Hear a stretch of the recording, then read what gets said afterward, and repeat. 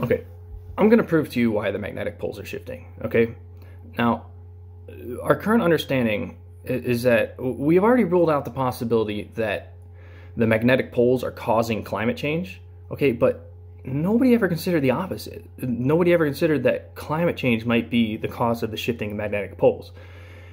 I'm going to prove to you in like five to seven minutes that, that climate change is causing the shifting magnetic poles, okay? And it's not going to require a fancy animation.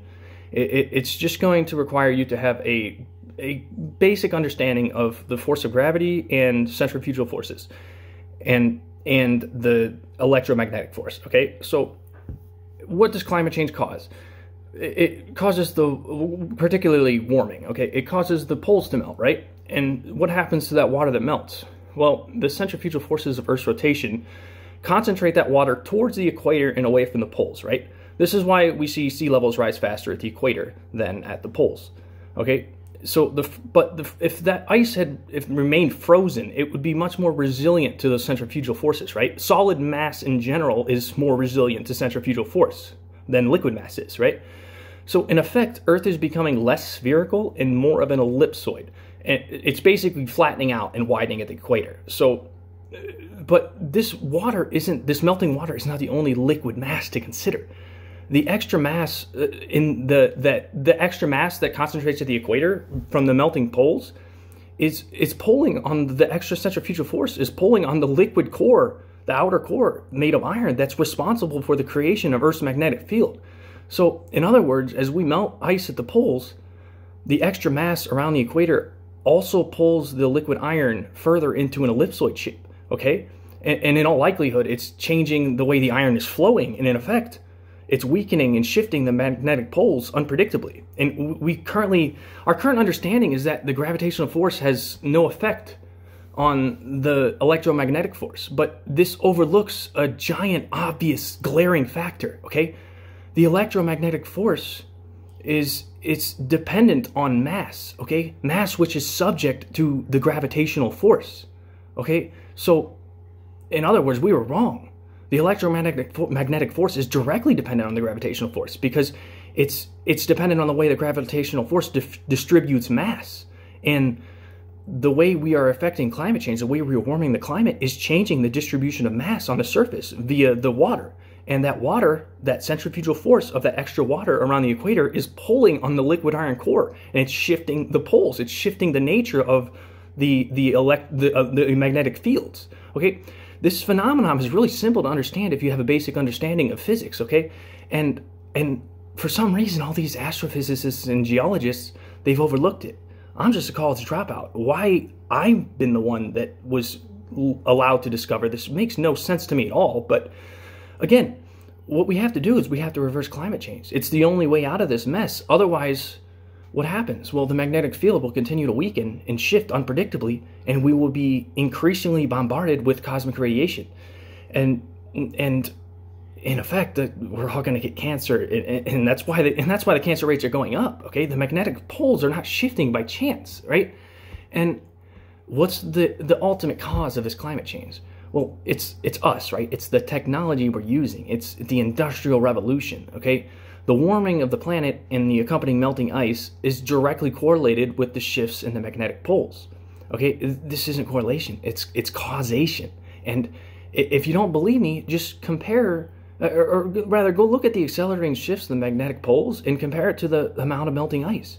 There, there's a direct correlation, okay? Again, it's not correlation, it's causation.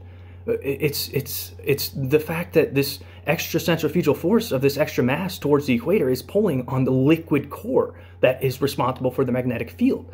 Okay, and what are we doing? Well, we're busy we're busy uh, talking about how devastating cosmic radiation is to our technology that we depend on. Okay, but we have it backwards. It's the technology causing the cause the increase in cosmic radiation. Okay, via the weakening and shifting of the magnetic poles. Okay, I hate to disappoint you, but if you want to have a future on this planet for you and your grandchildren, you're going to have to we're going to have to reverse climate change together. We're going to have to stop using this technology that is causing it. Or at least most of it. We're going to have to reduce climate change enough in order to reverse the melting of the poles. Okay? We have to we have to uh, are the able-bodied people like me in particular or me and other people we're gonna have to start walking everywhere. We're gonna have to start cycling. We're gonna have to use um, learn to use maps instead of our phones to get everywhere. And and if you're traveling over oceans you better learn how to navigate using using stars like we used to okay? Nothing else will do. We so please if you if you understood this phenomenon i need you to share this video okay? I need you to share it with prominent people particularly in the field of physics, okay? This YouTube channel is not monetized. I have I have no profit motive in spreading this message. My only motive in spreading this information is to save humanity and by extension my own future and and your future, okay? And, and unfortunately for every human on this planet, my lack of, of a profit motive is correlated with my inability to spread this message. Okay, I don't have a platform, and I what I need you to do is I need you to create that platform for me, or or spread it yourself. Restate this video in a different manner, in a more eloquent manner, perhaps with some some animations that could help explain it. Okay, I don't have I don't have the ability to make those animations. Otherwise, I would, and maybe I will in the future. Okay, I need you to heed this warning. Okay, if if you let your greed get in the way, it's it's your grandchildren are going to pay the price. Okay, it, and all those nest eggs that you've been saving for to will away to your children and grandchildren, they're they're going to be useless because or, the cosmic radiation is going to probably in all likelihood kill us all. Okay, now there's another dangerous phenomenon that's occurring here, and I'm not going to explain it in this video. And I, if this video gets traction, I will explain it in another video. Now, my reasoning for leaving it out is is will be made clear in that future video. Okay, but again, that's beside the point right now. Just please, you have to understand the implications of the shifting and weakening of the magnetic poles, okay? And by extension, how your own technology is contributing to it.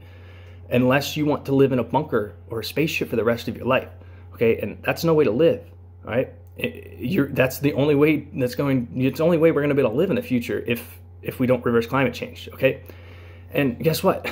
Most of us can't afford a bunker or a spaceship. I can't. You probably can't, okay? And if if you can't, well, then your role in spreading this message is just as important as my role in discovering this phenomenon. Okay, my role is just it's just the one the the beginning of this this cycle. It doesn't it's not important more important than your role. Your role is just as important as mine in saving humanity. Okay, if you understand this message, you need to spread it. Okay, now we aren't done warming the warming the planet. We're going it's going to continue to warm for some time, and I believe we have some time before this becomes a a drastic problem, right?